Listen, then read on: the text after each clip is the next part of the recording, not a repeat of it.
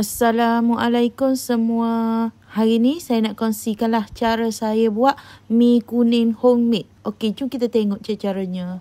Okey, dalam kita ni kita nak masukkan dua cawer tepung gandum. Lepas tu kita juga pecahkan satu biji telur. Saya guna telur grade C dah.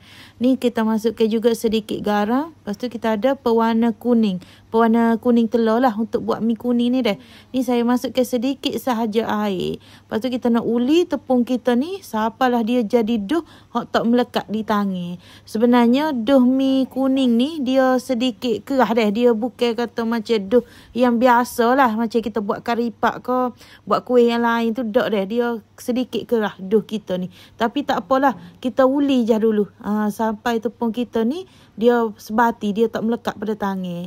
Ha, ni tepung kita ni dia dah sebati tapi tepung kita ni nampak kelihatan lembek lagi deh. Tapi kita nak bahagi dulu tepung kita ni kepada beberapa bahagian sebab kita nak canai ke uh, tepung kita ni. Awak boleh tengok dah nampak lembek lagi. Kalau lembek gini awak jangan bimbang dah. Kita boleh je tambah tepung gandum lagi. Saya memang sengaja awak lembek gini awal-awal sebab awak kata tak susah kita nak uli.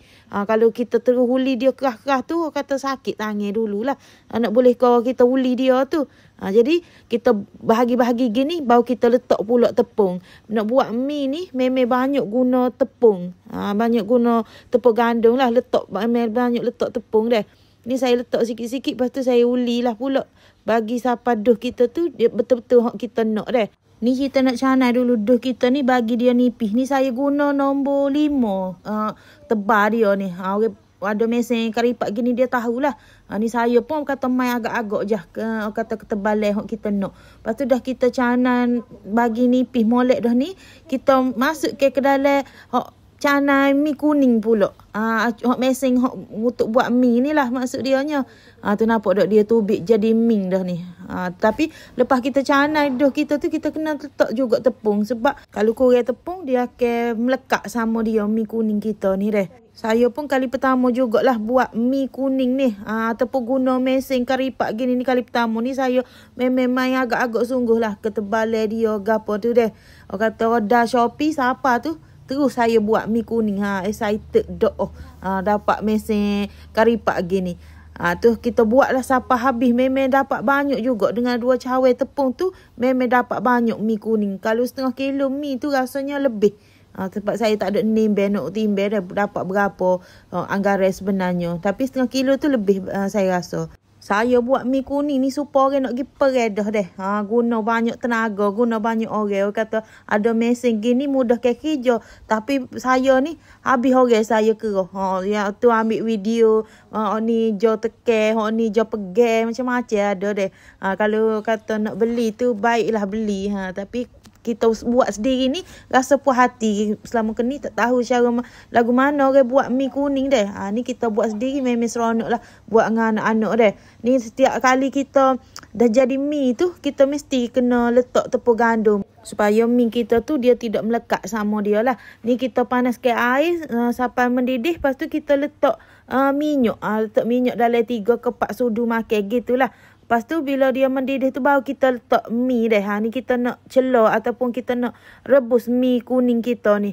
Ha, lepas tu nak rebus dia ni kita kena tunggu jugalah dalam 5-6 minit gitulah lebih kurang deh. Sebab kita nak bagi mi kita ni dia masuk.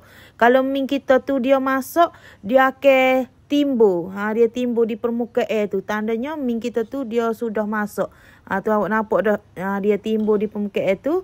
Ha, jadi bolehlah kita nak angkat dah teruskan minyak dia, uh, air dia tu. Hasil mi kuning kita. Ha, nampak macam orang kata kita beli kedai dah hasil dia. Nak comel lah. Ha, teruja lah kalau kita buat mi kuning sendiri. Nak buat tu dia mudah je. Tapi kena teknik yang betul jugalah nak buat mi kuning ni biar dia jadi comel.